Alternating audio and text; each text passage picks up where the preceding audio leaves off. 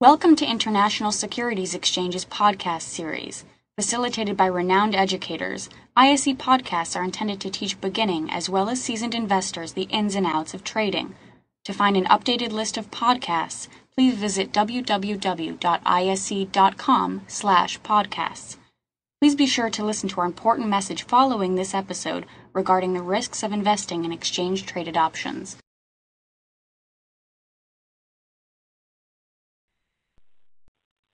Right, so it is 3 p.m. here in New York. We're going to get things started. So thanks everyone for joining us. Welcome to this afternoon's webinar. Today's session will be hosted by Ilian Yotov, who will be teaching us how to use the quarters theory with FX options. Ilian is an FX strategist and creator of the quarters theory. His published works include the quarters theory, the revolutionary new foreign currencies trading method. Ilian was one of the leading Forex educators in the world and has trained thousands of Forex traders from over 20 countries across the globe. He is also the founder of allthingsforex.com and tradertape.com and host of the popular broadcast on All Things Forex. So Ilian, we're going to go ahead and turn it over to you for today's presentation. Thanks. Thank you so much, Katrina. I appreciate it, and thank you to our friends at ISE for putting uh, this webinar together. Thank you for all of our attendees today. Welcome aboard.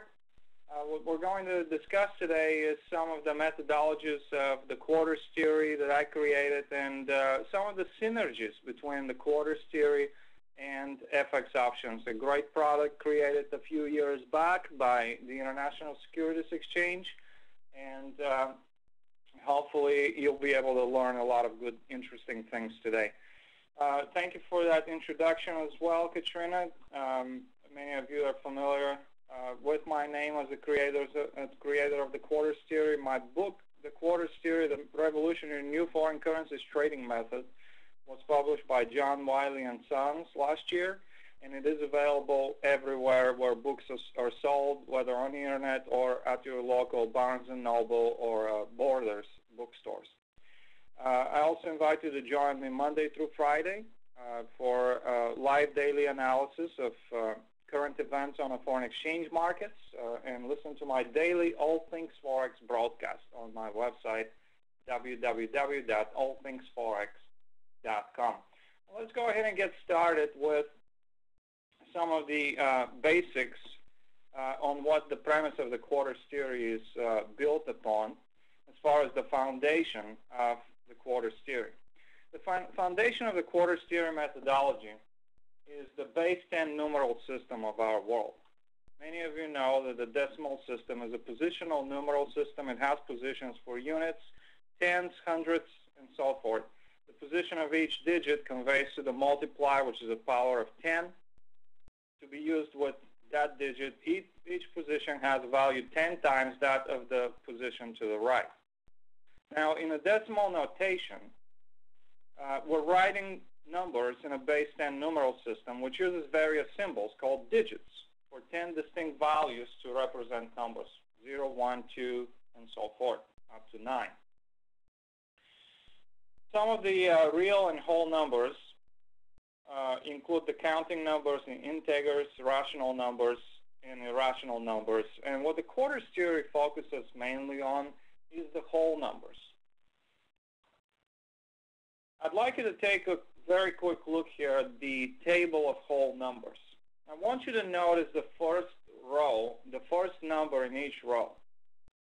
When you take a look at that table of whole numbers, you will see that the first number in each row represents a critical junction that marks the end of a uh, one set of numbers of 10 numbers, and then at the same time the beginning of a brand new set of uh, numbers. Why is this important? Well, it is important because with the quarters theory, I focus on what I call the major whole numbers, the ones that start at the same time, start and end a previous set, and, and then end the previous set, and then start a brand new set of 10 numbers. Those major whole numbers would be, for example, 10, 20, 30, 40, 50, 60, 100, 1,000, and so forth. Currency exchange rates are also represented with decimal whole numbers, where you have the decimal point, for example, euro dollar exchange rate could be dollar and 30 cents, 1.30 or 1.31, 1.32, 1.40, and so forth. With the Australian dollar for uh, against the U.S. dollar exchange rate, we could have uh, 0.80 or 0.81, 0.82, 0.90, and so forth. Now, the major decimal whole numbers would be instead of 30, 40, 50, 60, with currency exchange rates, the major decimal whole numbers for the euro-dollar exchange rate, for example, would be 1.30 or a dollar and 30 cents, 1.40 or a dollar and 40 cents, and so forth. Aussie dollar would be 0.60 or, or 60 cents, 0.70, 0.80. Dollar Canadian, let's say it's at parity, which is one for one, $1, 1.00, 1.10, 1.20, 1.30.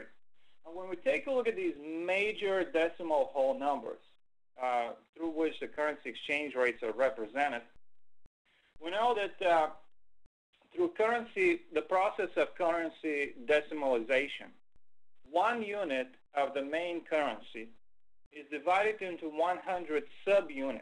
For example, one euro or one US dollar are divided into 100 subunits called cents. One Swiss franc would be divided into 100 units called centimes or 100 centimes. One British pound is divided into 100 pence. Now, for further precision, when currency exchange rates are rep represented, for further precision, they are decimalized even further by dividing the actual subunits, not just the main units, but also dividing the subunits. So the subunits were what? One cent, one centime, one pence. So one cent is divided further into 100 additional subunits, which are called price interest points, or as many of you know, PIPs, short for price interest points.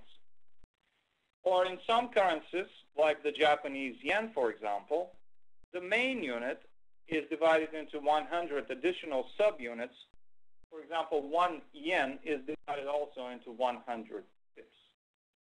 So when we take a look in terms of pips, we're going to realize very quickly that when we look at the distance between two major whole numbers, we'll have a uh, very clearly defined constant range of 1,000 pips, tenths or 10 centimes or 10 yen. In terms of pips or price interest points, that's 1,000 pips. And in between two regular whole numbers, we'll have also a very clearly defined range, which is smaller. It's going to be a 100 pip range, one penny, one centime, one yen. So the quarters theory focuses on these 1,000 pip ranges and 100 pip ranges. And here's an example that's on your screen that lets you see that, for example, if the euro-dollar exchange rate was into the dollar 30s, uh, the major whole number that the dollar and 30 cents would mark the beginning of the 1,000 pip range between $1.30 and $1.40. Those are the two major whole numbers define that range. And then in between, you have regular whole numbers such as $1.31, 1.32, 1.33, 34, and so forth. And the distance between the major whole numbers, $1.30 and $1.40, or 1.30, 1.40, would be 10 cents or 1,000 pips.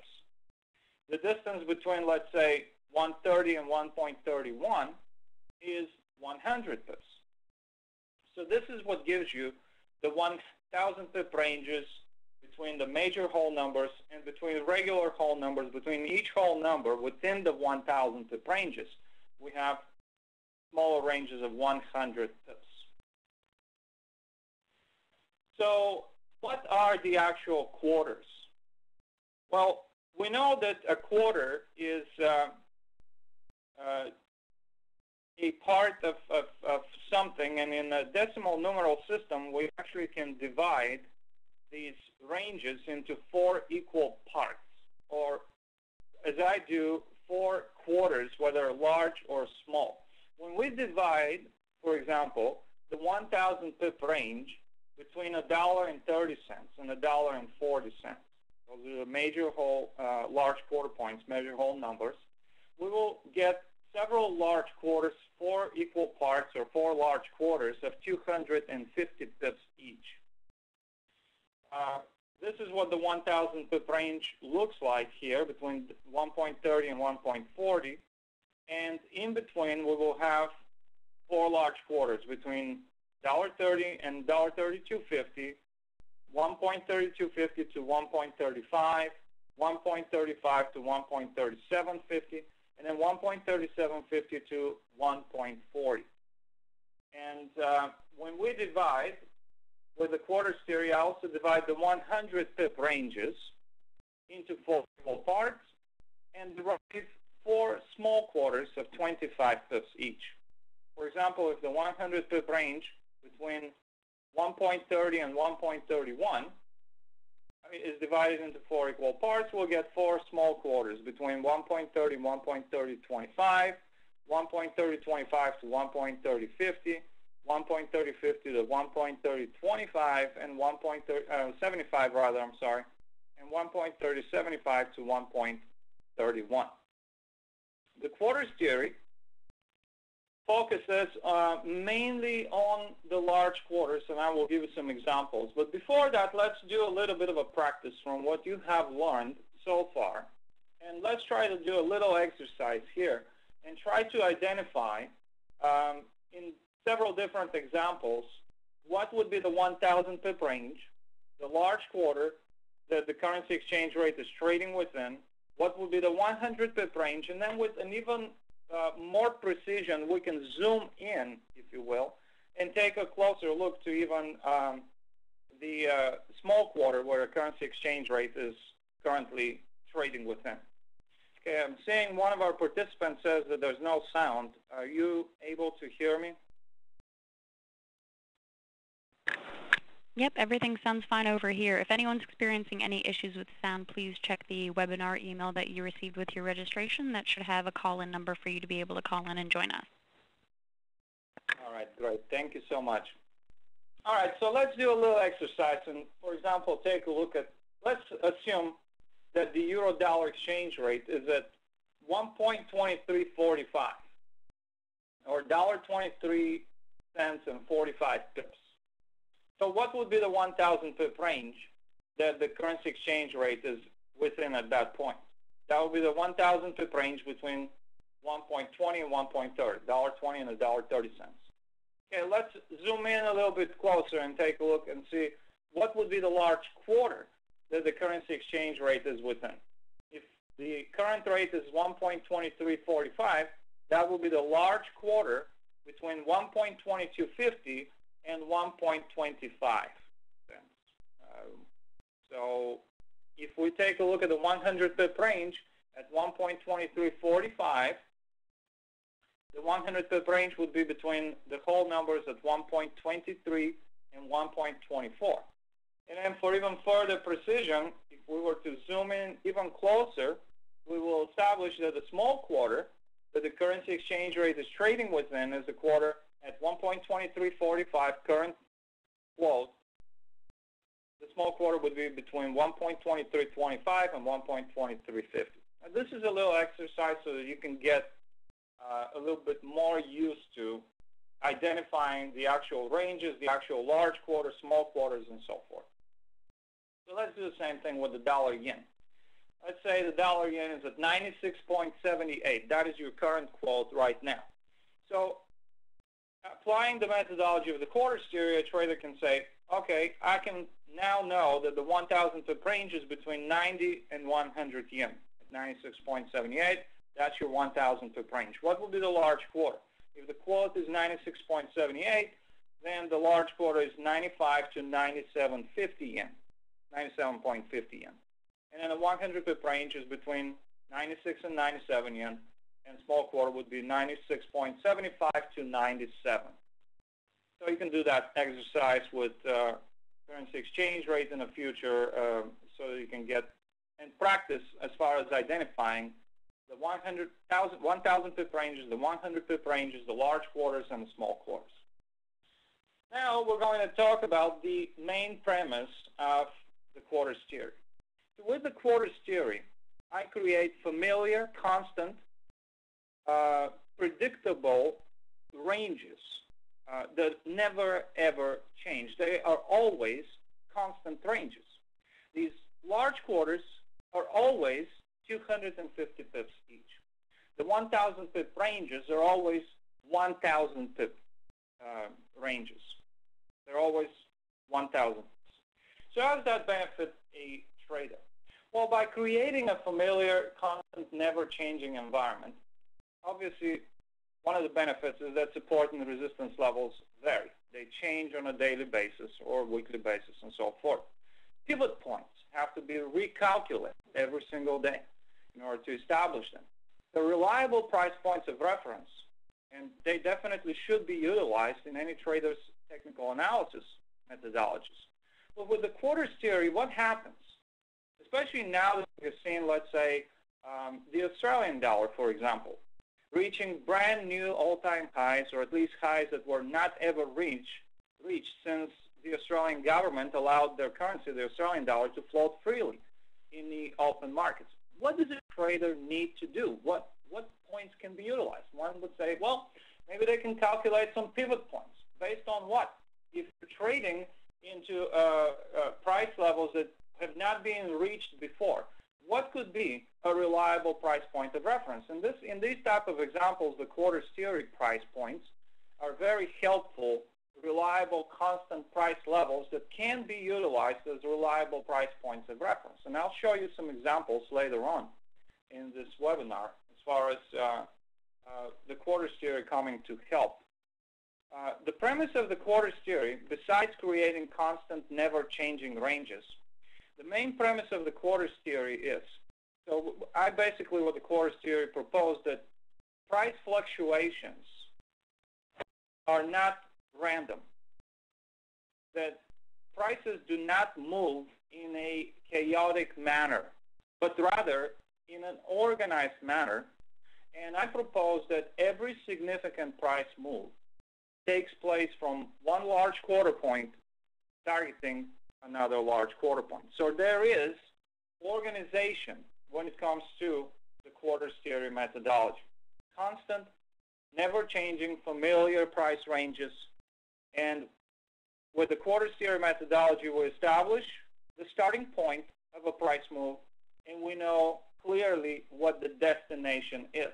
In other words, a price move always starts at a large quarter point and always ends at a large quarter point. Now, I'd like to show you the uh, following examples of, um, these are the real life examples, obviously most recently with euro-dollar exchange rate. Now let's take a look at this chart. It's a daily chart going all the way back to September, August, September of 2010. What can we establish here? Now that we're able to recognize these ranges, we can see that uh, for the most part, which is almost a year now, it looks like most of the price activity for the euro-dollar exchange rate has been taking place within the 1,000 pip range defined by the two major large quarter points at $1.30 and 30 cents and a dollar and 40 cents. With very few exceptions, where the euro is traded a little, for a, a, month or so here below $1.30 and uh, for a few weeks above $1.40, and then in recent weeks, obviously, we've broken above $1.40 level, and I'll uh, give you some examples of that later on. But for the most part, for the majority of the last, if not one year, at least for the majority of the last nine months, we have seen the euro-dollar exchange rate trading clearly within the range between $1.30 and $1.40. So what would be the large quarter points within that large uh, with, within that 1,000 pip range between $1.40 and $1.30?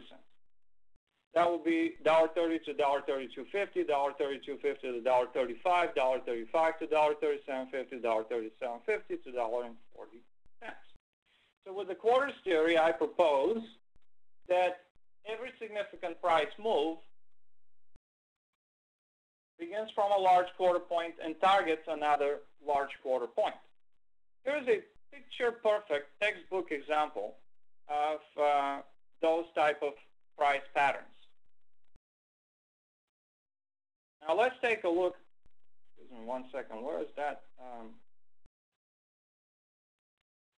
that slide. Oh, you know what, Katrina? You know what? I think that I added it a little bit later. I had to send that presentation. oh, did we have an additional slide that's that's missing now? Yeah, I do. I that's what I was wondering. Where did that one go? Oh no. Uh, that's okay. Um, can I exchange my desktop from here? Yeah, sure. I You have- should be able to. Okay, one second. Bear with me, guys. I'm sorry about that. Yeah, I uh, I added it actually yesterday afternoon. And, Okay, uh, yeah. I If you go up to share, you should be able to share your desktop. Okay, let's do that.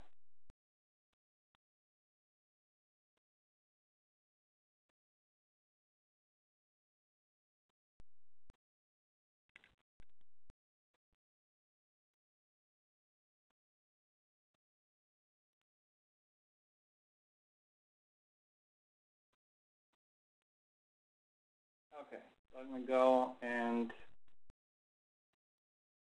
do share and then desktop. Okay. Okay, are you guys able to see the desktop now? Yep, looks like we've got it. Okay, good, good.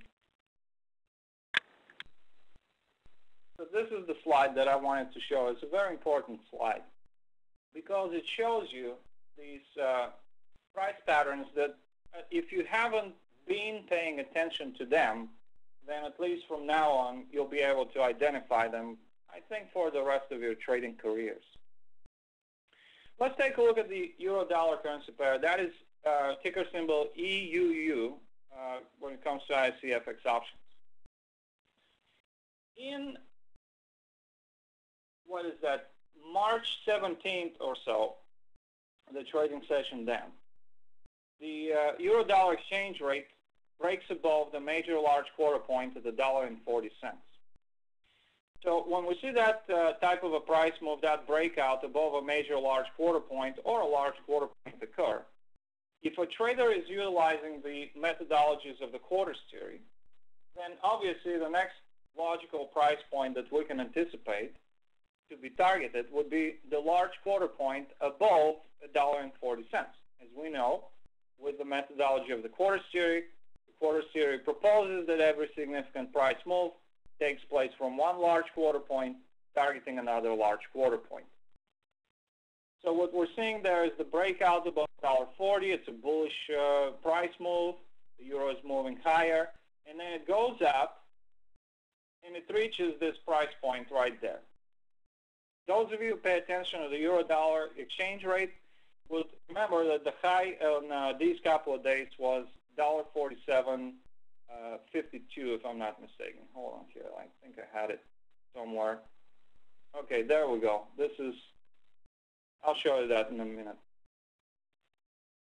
So we reach a dollar forty-seven, uh, dollar forty-two, forty-seven. Then prices never break above the large quarter point of the dollar forty-two fifty. According to the quarters theory, when prices remain below a targeted large quarter point, they can complete the quarter.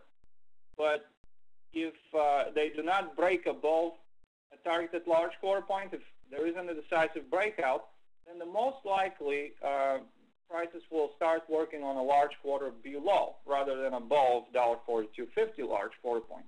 So what happens next? For a couple of days here, we have two identical highs at $1.4247 and $1.4245 or so. And then the next day, prices start breaking down and they go, guess where? To the large quarter point at $1.40. They reach this low here, which is $1.4021. They never break below $1.40. They remain above the large quarter point. Then they reverse back to the large quarter point at $1.4250. On this next attempt, however, prices do break above $1.4250. And where would you say, applying the premises of the quarters theory, what do you think the next large quarter point targeted will be? Prices produce a decisive breakout above $1.42.50, and then the door would be wide open for them to work on the next large quarter between $1.42.50 and $1.45, which is a large quarter point uh, above $1.42.50. And so in recent example, uh, in recent days, we have, in weeks, we have seen those type of patterns uh, taking place, which is pretty much of a textbook example as far as the quarter theory methodologies are concerned. Thank you for listening to our podcast. To find more podcasts on options, stocks, alternative markets, and market data, please visit www.ise.com slash podcasts.